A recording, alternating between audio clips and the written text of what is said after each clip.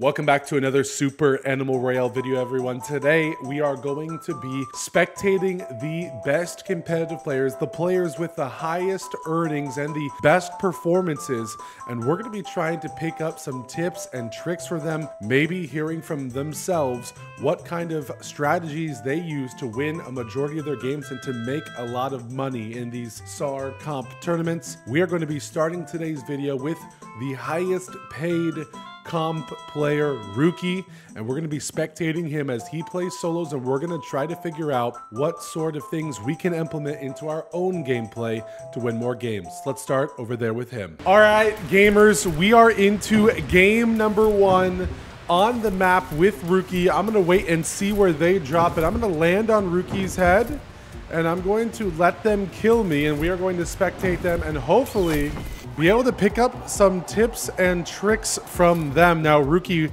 like I said in the introduction, is currently probably the highest rated player in the entire game. In the entire game. I'm talking most competitive tournament wins, very high on Royale.pet leaderboards, as well as the most money earned from tournaments as well. So we're going to be taking a look at what kind of guns he prioritizes, what kind of utilities he prioritizes, and everything in between that. First of all, it looks like we had a bit of a north to south flight path and Ruki decided to land at the SAW Security. It is known as a location pretty good because of its central to the map as well as it has a lot of loot. But look he is not going to be lingering in one spot for too long. He is grabbing some weapons that he likes and instantly hopping out. Now he did get a silenced pistol from a box off the rip which is going to be honestly a fantastic start. All right, coming face to face with a bot, honestly, just trying to conserve ammo, not take too many hits, and that's not what we're really going to see. Oh, listen to the sound cue there of the player healing. Knew that someone was there and had that pistol ready to go. So already a few things that we can pick up from Ruki's gameplay. One, trying to get out of wherever your starting location is quickly loot quickly and start moving on so that you guys can get a good circle position and listen for sound cues. Right, ducking in and out of cover. Very good play by Ruki. That is one of the things that a lot of competitive players do that a lot of casual players do not. You should be firing shots and instantly ducking behind any cover that you can find to potentially save yourself from getting hits. Now he is contesting the crate, creep walking, trying to listen for sound cues. Silence pistol is going pretty crazy right now. All right, now he does pick up the bow here. And okay, here's the player. Decides to melee them, trying to conserve as many resources as he can. Heard the player creeping up behind the boxes there to the top left. Now, let's see where he's positioning. He's kind of making sure that he's in the circle at all times. And it looks like he will already be in the next circle. Kind of just pacing back and forth. Listen, I think a lot of people sometimes confuse themselves. You guys distract yourselves with doing too much movements. Look how minimal of movements Ruki is doing. Sometimes he's just remaining very calm. Nice. Taking very calm shots, running into one player after another. Now, I think something that Ruki does from spectating a lot of Ruki games is he um, really kind of beats people psychologically. Here's what I mean. Um, a lot of times when you're running up to a player, you do not know how much HP they have. So sometimes Ruki, even though he has no tape or might even be half HP, kind of just uses the advantage of confidence shooting those shots before he starts healing, kind of like how we just saw where he was missing several tape, but the enemy player did not know that he was missing several tape. So he just decided to take that fight. All right, still using the bow. And as we've seen, he has really decided to use the ninja booties this entire game. One of his favorite utilities and a utility that honestly I feel like a lot of players like as well. Silence pistol, listening for sound cues, heard the shotgun and kind of just kind of tried to keep his distance as much as he could in that tight corner. All right, still just staying in circle. He knows about the height advantage. You can see further down than you can see up, so he's trying to stay on the top side of the circle, the top side of the screen. Knows this player's going. Tried to pre-fire the corner. Great idea. Pre-fire the corners if you know players are going to try to be pushing you from there. All right, picks up a cat mine just to throw it down for a little bit of zoning. Good strategy there. Wants to pick up his grenade though. Ruki loves normal grenades. He uses them all the time. Comes to face to face with a shotgun player. A, instantly separates and makes some space. Now, he's not going to waste time taping up a three armor, but instead he is instantly hopping to a one armor swap and getting back into the fight. Sniper player running at him, just trying to lay down some shots. So now, when he sees that two players are both hurt and backing up, he is then going to grab a three armor and look, a lot of players would full heal there, but no. He just applied one tape and played aggressive and tried to finish his kill.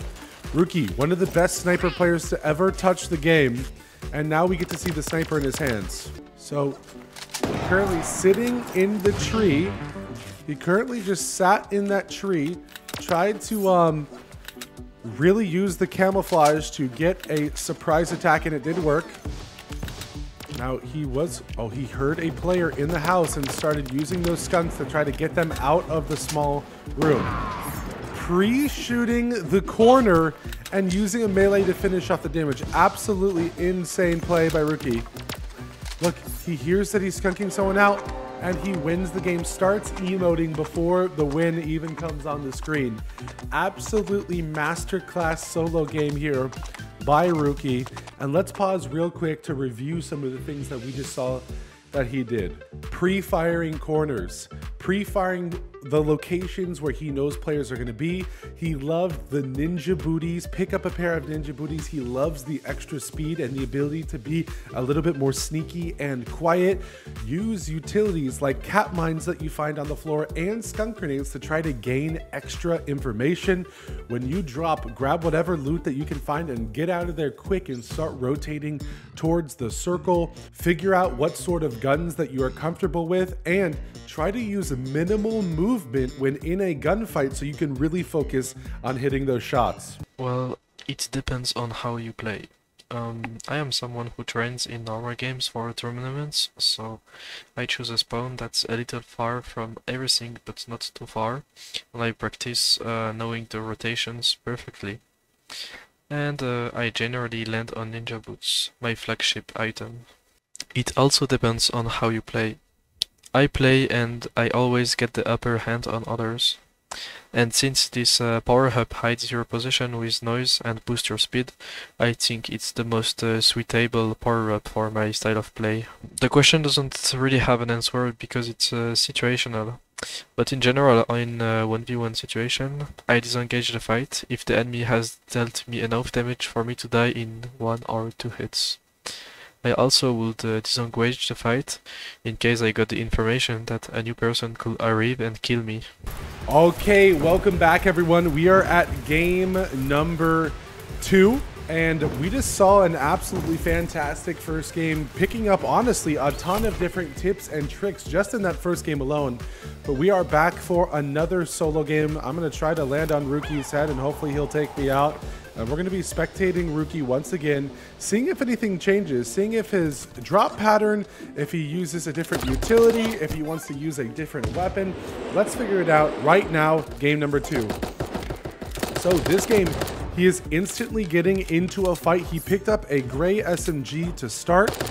Now that was, a, wow, we just actually immediately saw an interesting play he actually chose to put a tier 1 armor on instead of a tier 2 armor so that he could save it for when he won the fight. That is just what I would call pure confidence out of a competitive player.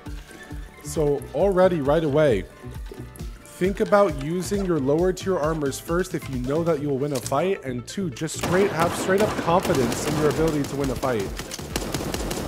Now, Magnum is a little bit harder to use. Guys, you have to remember, Ruki is one of the best players in the game.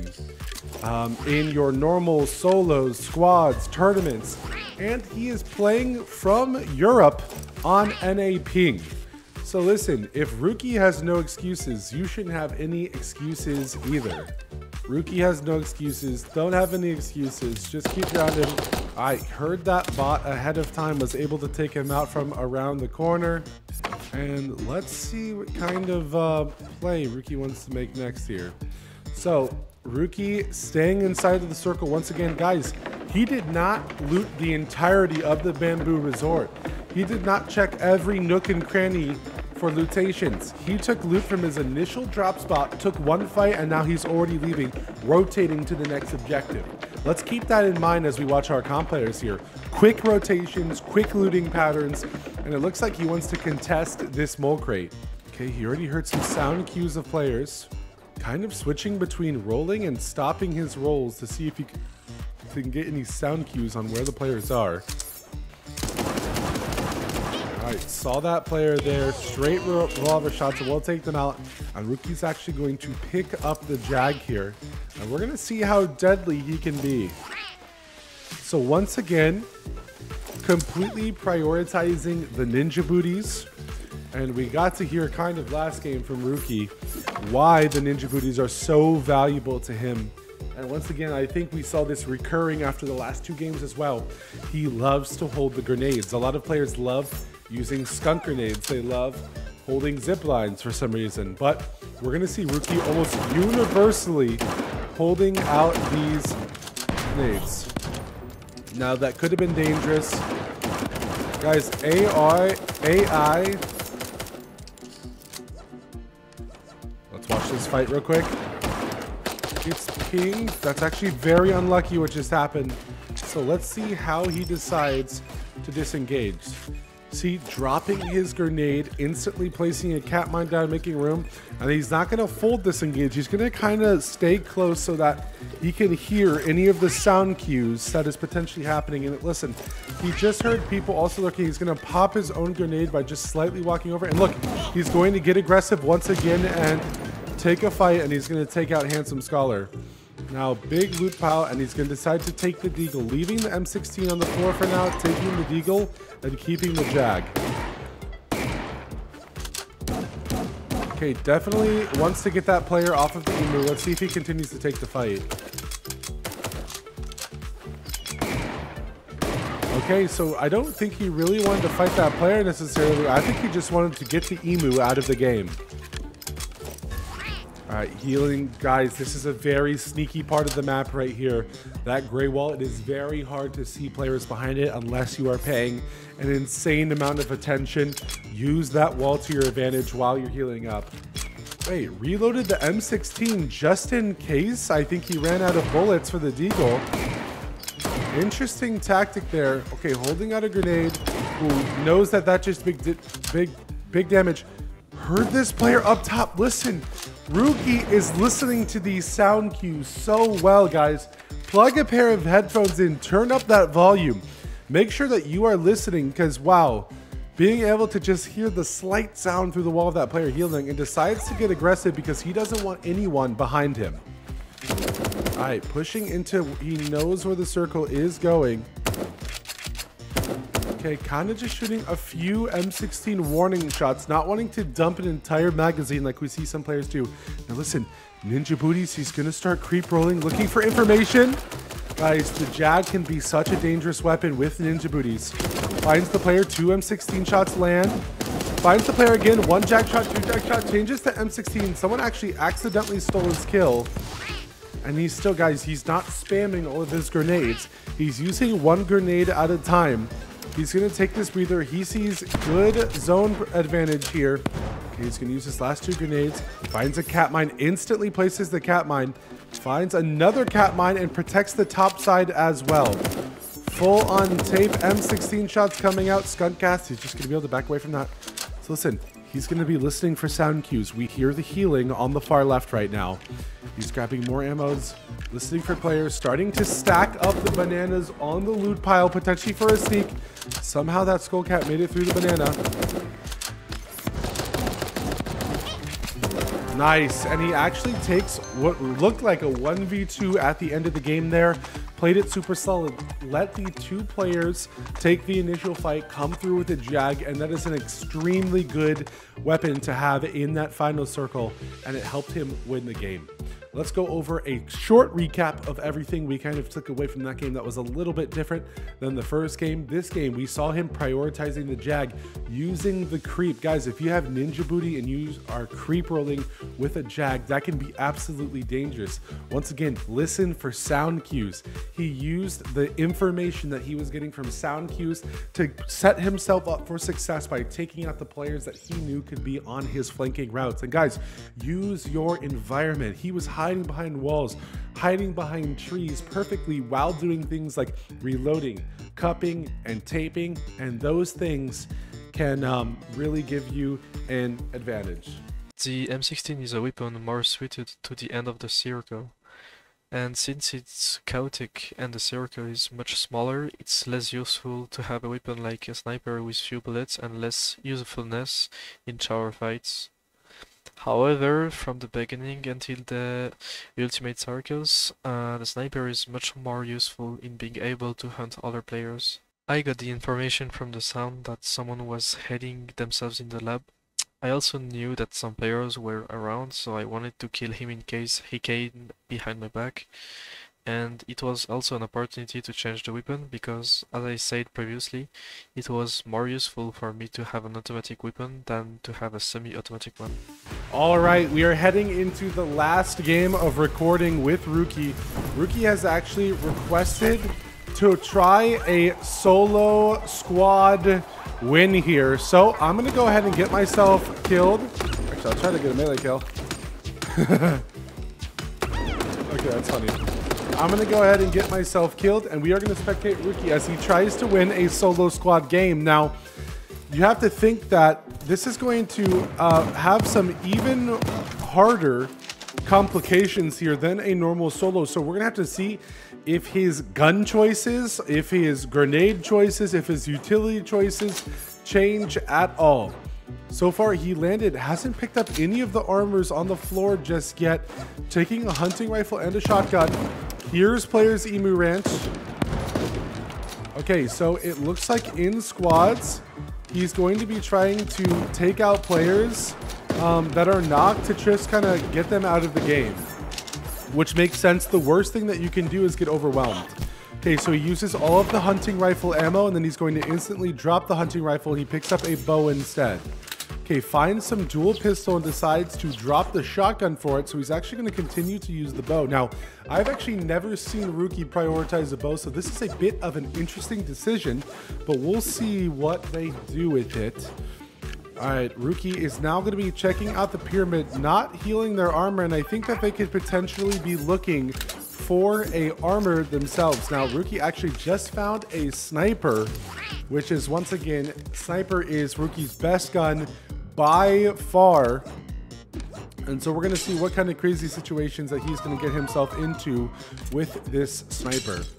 So Ruki obviously liking this um, room over here. Picks up the silence pistol. Wow, this is my favorite loadout in the entire game right here. Sniper and silence pistol. So we're to see how dangerous Ruki can become with this loadout. So, so far he's actually holding the impossible tape this time around instead of Ninja Booties. Now, I don't know if that's because he hasn't found a Ninja Booties or what.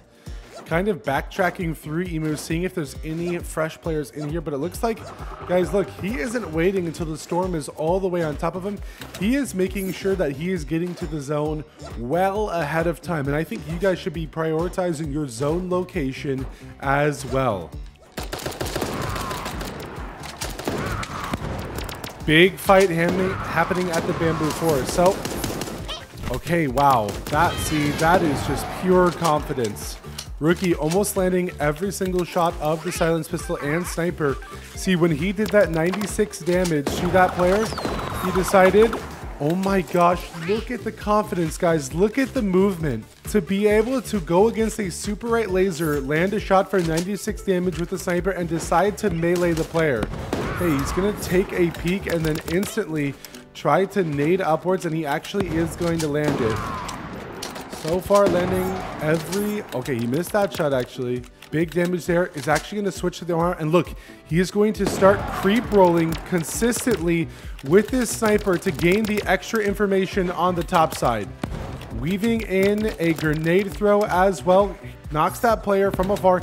Finds a two armor and he's going to switch. Now, the worst thing that he can do is get overwhelmed. So he's kind of backing up momentarily to um, reassess his situation. Now, Ruki probably just took down six players then by themselves, and we're going to have to recap in just a minute the things that he was taking advantage of. But one of the ones I know was using the creep rolls with the sniper to get that in extra information off screen, weaving in grenade throws when you're running out of bullets for some extra damage and to kind of make players panic. And also, not panicking with your movement. If someone starts shooting a super bright laser at you, do not panic, do not freak out. Oh my gosh, he barely gets that two armor swap off, trying to snipe the player in zone. Misses two bullets. Now he's actually going to be pursuing this player, which is very interesting. Wow. Predicts the location, predicts the movement, and does take the player out. He's going to start the cut because he knows he can outwalk the circle here.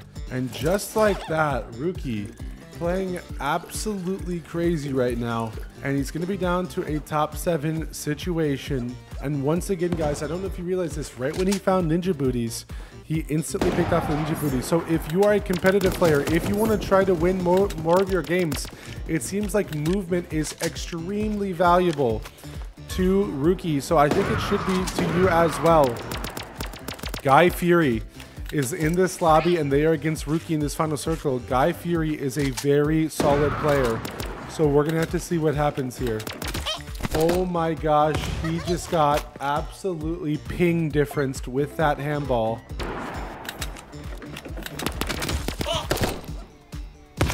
And I have a feeling that was just a insane ping difference because he was able to break that handball and deal a tape damage, but still got one shot by the handball. Sometimes that is just an EU ping difference, but you know what? Ruki does not complain barely about those things. I complain more about ping on my own server than he does.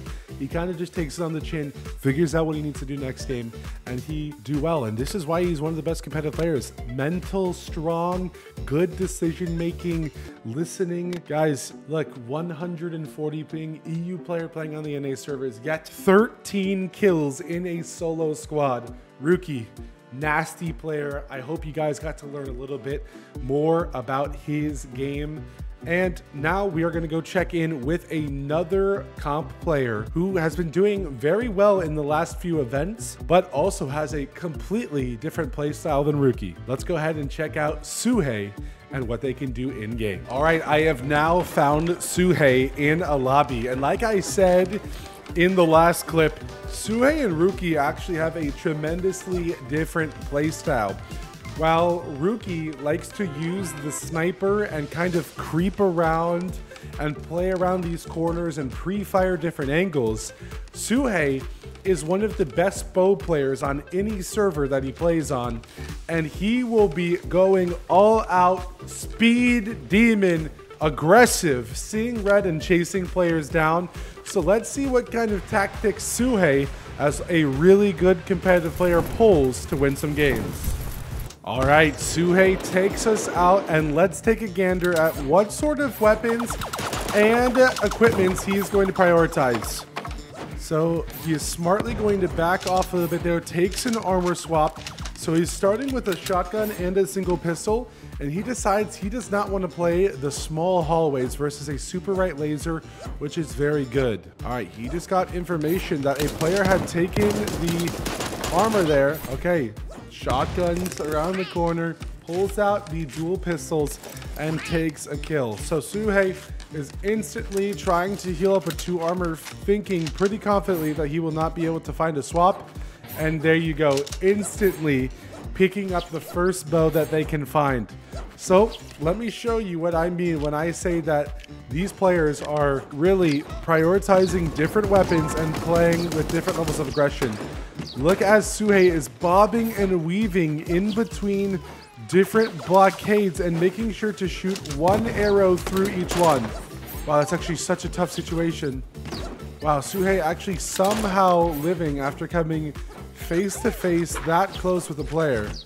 All right, Suchy getting chased by his speed emu is just going to decide to step away for now.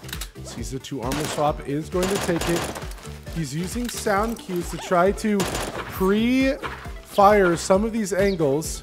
Now he's going to be using the mobility of the bow to try to take down this emu while staying on the move. Kind of just shooting into the open spaces that they know that the player might be playing.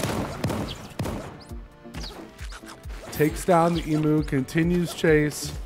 Now this is what I mean. If Suchy locks eyes on you, Suchy is going to chase you until one of you two die. And just like that, like I said earlier, Suchy is going to be taking out that player. So Suchy is actually using the Forker, which we actually did not see Ruki use a single time. So this is kind of a unique situation from what we saw with Ruki. And look at that. We saw that Ruki loved using grenades, held the grenades every single game, but with Suchy, he is going to be preferring to hold as many bananas as possible. Look, actually spending some time instead of running into zone as fast as possible, gathering resources, specifically bananas, to try to get ready to use that forker to its maximum ability. So holding out the boat, you know, kind of destroying any sort of movement options that they can see around them. Breaking some boxes, looking for any bananas wherever they can find them. Heading towards zone. Now they're sort of in the top side of zone now. Kind of looking for players, searching them out, wanting to make sure that no players are going to be behind them. He's actually going to get a verbal cue from the mummy, but decides not to pursue it. Instead, kind of checking the central area of the Sahara land here. Okay, finally hearing a player and already just trying to make sure that they get some bow shots out into the open water. So they're playing against a player with a sniper, but look, staying cool, staying calm. Forker's up to 100% HP, trying to make sure they are above that sniper range. Backing up, playing it momentarily safe. Comes face to face with the player again. Gets the bone draw back, and we're going to start seeing the movement technology once again. Good, good shot by the Axolotl player. Does also get hit with a, oh my gosh, almost going down there, but expert movement to sort of survive there. Instead of taping up, they're going to just take that one armor and start to move on. So as we can see, Suchy really is valuing the bird tracking system. So they're just trying to kind of put shots where they think the players might be. Suchy is going to spend some extra time getting a free extra bit of healing from that fireplace and instantly starts looking at this next player. Dude, there's almost no telling where Suchy is going to move. Four bow shots in a row landing and taking them out. Look at this. So, so confident in the bow shots. So confident in the movement. As we saw with Ruki, sometimes he was barely moving at all, just completely focusing on minimal movements and landing all the shots. Meanwhile, Suchy is just getting as many bullets as possible into a fight and prioritizing insane up and down and left and right movement to be able to survive. Wow, Suchy somehow running into every player that seems to be left in the lobby, trying to find a quiet space to heal. So they're only going to use one tape and then they're going to start prioritizing the health heals instead. Good play. Wow, they actually do find a tier one. Thomas gunshots. They're going to be trying to heal up as much as they can before this final circle duel comes. Hanging out on the outside, grabbing as many heals as they can. Okay, getting the bow out and ready to fire. Oh my gosh, that was a bit of honestly just unlucky there. Coming face to face to face, a three player situation, and both players chose to shoot at them, shoot at Suchy instead of each other. Suhei did not have many options there, just tried to put as many shots down as they could. But we've already gotten to see some interesting new differences. Let's go ahead and recap that game a little bit. Suchy deciding to take the banana forkers and prioritize gathering resources instead of a um, zone placement. Suchy, once again, deciding to use the bow primi primarily because they feel the most confident in their movement. So being able to move so well with that bow and be confident even in situations where most players would instantly begin to run and probably get chased by the opponents, they focus in hard focus on the movements and dodging the shots while also connecting their own bow shots and really focusing on using that bow tracking to be able to get that extra information in game. It's mostly because I'm used to it. It's always been kind of my go-to. It's also because I think it fits my movement focus playstyle a lot better than any other power-up. It makes it so I don't have to stop every time I want to heal, which leaves me much less vulnerable. I almost always focus on my own shots. And because of the way Hittrack works in SAR, I don't think it's very effective to try and dodge enemy bullets, especially for uh, players with higher ping, like myself. When I know the enemy has a significant health advantage on me, or when I get my armor knocked and the person I'm fighting has a shotgun or a sniper. All right, Suchy has hopped out of the plane towards the end of the flight path here, and they are going to be going to a pretty popular spot. It looks like they're deciding to go to the Emu Ranch picking up initially the shotgun. Once again, two games in a row, really, really focusing down that close range weapon. All right, they are going to go ahead and grab a tier 1 armor swap gold cup, cup raid, honestly, just to get a quick heal. And then they're going to instantly pick up the ninja booties once again to make sure that they have that superior movement. So already you're seeing an interesting concept that I know competitive players use, which is temporarily picking up a new power up for situational use. For example, we saw Ruki pick up a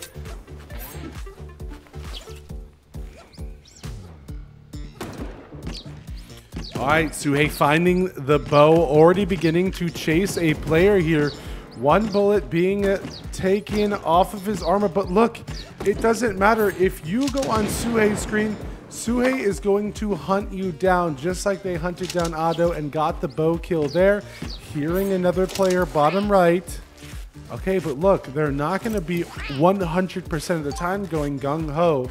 They're to instead relax there momentarily and heal up their armor. Now, I feel like they're already looking for a banana forker as they start to gather the bananas. So they were potentially going to be looking for a forker for back-to-back -back games here. Now, instead of playing dual pistols or the Thomas gun like last game, it looks like Suchy is actually prioritizing a shotgun in the secondary slot this time. But once again, we've seen all of our players, or we've seen Ruki and Suchy, choose these kind of central popular locations. Suchy actually just took down another kill there off screen, kind of hanging out at the top left of zone. So we saw Ruki really want to rush into the zone at all times, but it seems like Suchy is kind of liking to lurk outside of the zone and actually kind of get picks on the players that are rotating um, back in. So Suchy actually going bow for bow for a play, but look, that is a casual bow player standing still, fully drawing the bow, but look how Suchy situationally is using this.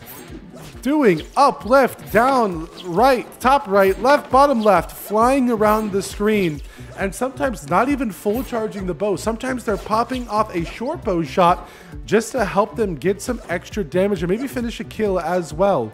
So Suchy is trying to just kind of walk this popular top left area and see if they can find any players to potentially take out, but it looks like for now, they're going to be a-okay. All right, top left. So they do hear this player, and so they're once again, I think we saw this a little bit with Ruki, but so much more with Suchy. Suchy is just going to be willing to use many of their special ammo, shooting it into the popular walking areas because they know if they get even one bow shot ping, they're going to be able to chase that player with full knowledge of exactly where that player is at. And that is something that is kind of unique to Suchy's bow abilities. Remember, guys, it seems like all of these competitive players are kind of finding their quirks. We saw Ruki with his sniper perfecting it in that bamboo fight. And now we see Suchy with the bow just showing us an abs absolute masterclass with this weapon. Like, It is just so unique for these players to be able to find a weapon that they are so good at like this to be able to try to win these events, these competitive events. Good shots there. Two shots off screen and look, Suchy is just absolutely feeling it. Playing the center of circle, taking every single fight that they can.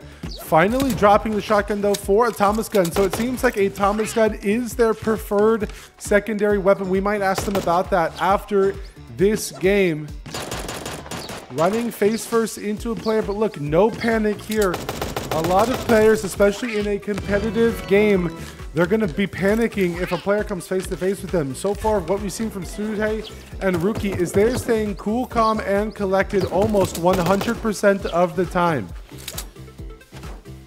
Okay, Suchy trying to get some information. Does take down the Emu. Does not want them running around on the outside by themselves.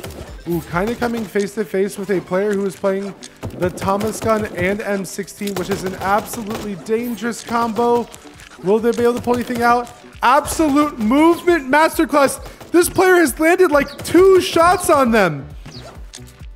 Looking for a banana, eats another banana, and somehow that melee kills in one hit. I thought they were above the threshold there. But Suchy Look at how much movement can impact a game of Super Animal Royale. With that insane movement, he was able to survive probably 45 to 60 seconds longer than they were supposed to be able to, and takes a second place finish here with so many kills as well, absolutely dominating that lobby. It's actually not. My preferred secondary would be the Jag because it helps cover Bow's biggest weakness, which is it being basically useless at close range. And I would say the Jag is pretty much the best gun to use if you're fighting someone close range. I usually aim for a close range plus a long range gun combo, so if I can't get a bow early, I will usually try to look for something like a sniper or a deagle with a Jag as my secondary. All right, hopping into the last game with Suchy, the last game of the video. We're going to be seeing with a south to north flight path exactly where they want to go and seeing if in this last game, if anything changes or if we're going to see some of the same gameplay tactics that we have talked about throughout this video, these tips, these tricks.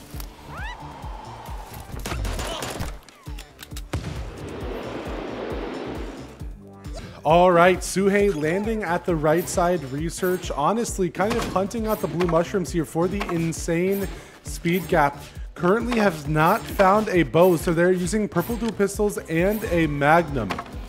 Now, it looks like they instantly went for the rotation into the zone this time around. And it looks like, oh, they did find a bow, so they dropped the magnum. Go, they go ahead and take a bot down, bottom left. That player looks like they were lagging. and Takes them down as well. Super Right Laser kind of keeping their distance. Okay, use it. Wow, Suchy kills them with the nade there. So we've uh, honestly been watching a lot of these players prioritize grenades unless Suchy is using forkers and bananas. But the uses of the grenades have been absolutely pristine today in this video.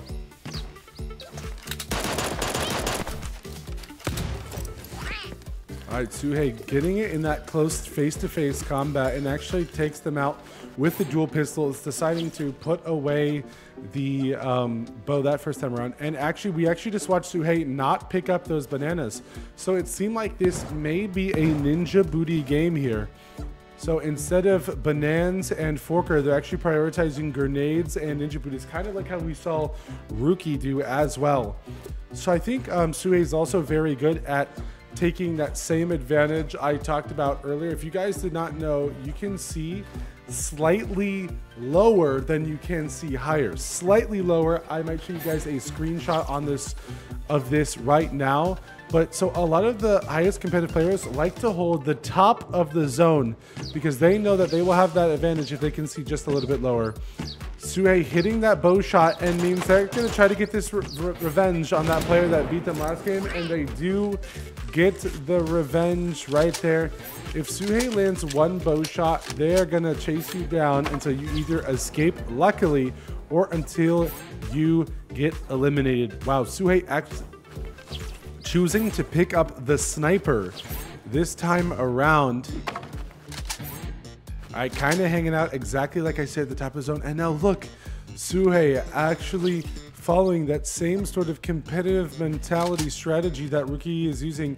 Creep rolling with the ninja booties, cutting all sound away from their movement and kind of, oh my gosh, see, using the creep roll, we could not even see that player bottom left when they shot that shot.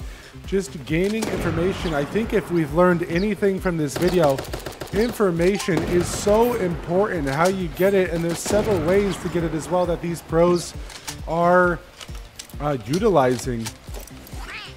All right, see, they're not going to get aggressive and use all of their resources. They're just going to kind of step away from that player once they get them down to 1 HP. Storm is coming in. They do have the top side. There is a player with the sniper looking at Suchy here. So they're going to be, once again, pulling out the bow and kind of pre-firing those walkways like we've seen Suchy do all day today. And actually pulling out the sniper, sees a Emu, takes down Emu, one bow shot lands, tries to hit the snipe to kind of remove all of the armor, but does not land for now. That player's right stick is a little sticky right now, and it is not working out for them. Suchy trying to heal up here on the top side before coming down to this final circle. And look, the creep rolls with the sniper once again, getting that off-screen information, waiting for a player to come to a loot pile, trying to instantly snipe off all the armor, and does. Snipes that player's left armor off, and we're going to see. Now it should only take two bow shots to be able to get a kill. And honestly, Our Lady of Dew landing every single SMG shot and taking down Suchy there real quickly. But once again, we got to see in this final game some of the things that the pros like to do. Sniper is so valuable in the pro slash try hard scene. Banana Forker and Ninja Booties are the things that you're going to want to be prioritizing. Do not forget to armor swap. Do not panic in tense situations. Focus on landing your shots and using minimal movements unless using a highly mobile weapon like dual pistols, like the silence pistol, like the bow, like we watched Suchy do. And keep pre-firing popular corners and use your sound cues, guys. All of these are some helpful tips that we picked up from these two players. Thank you to Suchy and Ruki for letting me Q snipe them and land on them to gain this new found information. I hope you guys learned just one thing and got to watch kind of what the pro strategies that are being used on right now. And I hope you guys will be able to implement these into some of your games as well. And I appreciate you guys for watching as always. And I will see you in the next Super Animal Royale video. Peace out.